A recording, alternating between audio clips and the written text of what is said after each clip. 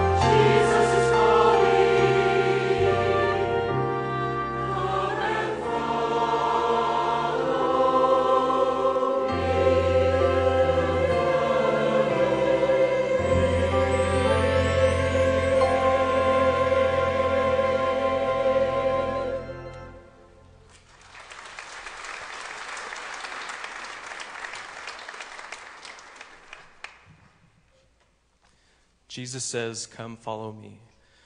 Though we don't know where he will lead us, I am persuaded that he who calls us by his glory and goodness will give us everything we need for this life. The knowledge and passion that leads us to follow him will bring us abundant grace and peace. My commitment to follow would be tested, and we were once again on the lake. From our boat, we saw Jesus walking on the water. My passion sent me out to join him on this miraculous walk but the experience tested my faith and taught me a lesson that I never forgot.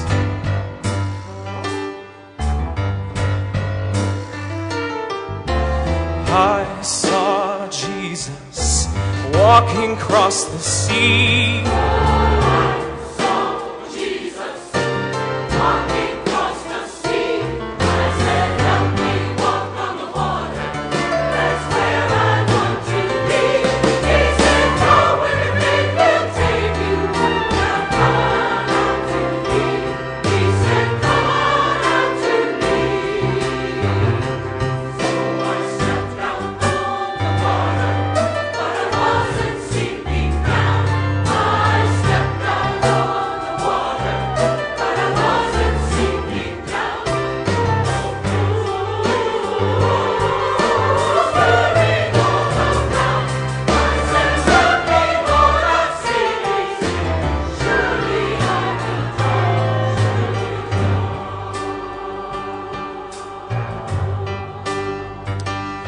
And I felt Jesus. He was holding onto my hand.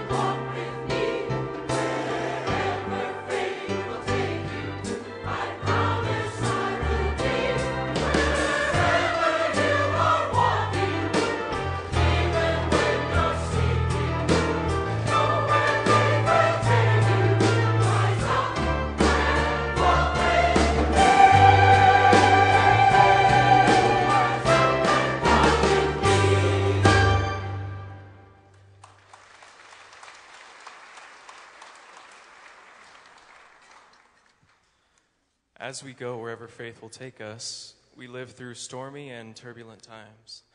Through it all, we must humble ourselves under his mighty hand, that he may lift us up in times of trouble. Cast all your cares on him, because surely he cares for you. And though we may suffer and stumble in our faith, the God of all grace will restore us and make us strong, firm, and steadfast. More than anything, I wanted to be bold and strong in my faith. One day, Jesus asked me, Who do you say that I am? Without thinking, I blurted out, You are the Christ, the Son of the living God. He had never claimed to be the Son of God, but those words were planted in the depth of my soul, and I knew they were true. He looked at me and said, You are Peter, and on this rock I will build my church.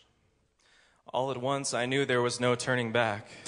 This was no longer just an adventure, a break from my life as a fisherman. My life's work would be to follow the Christ, the Son of the living God.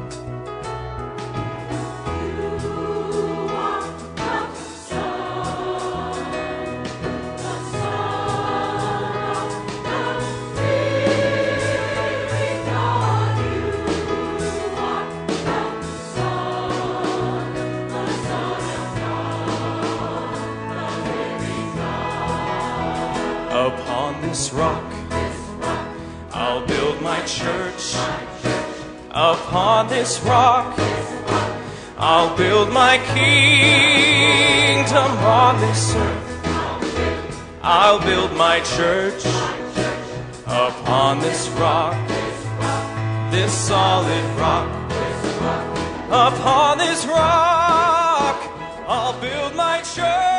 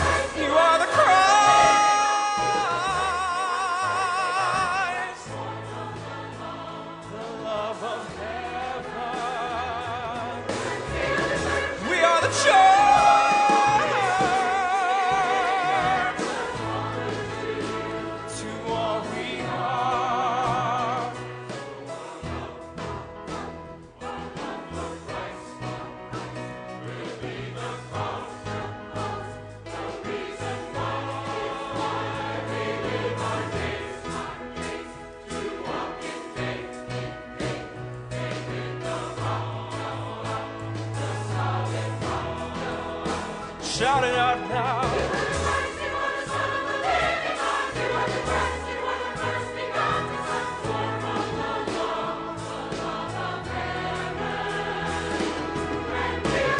We are the church.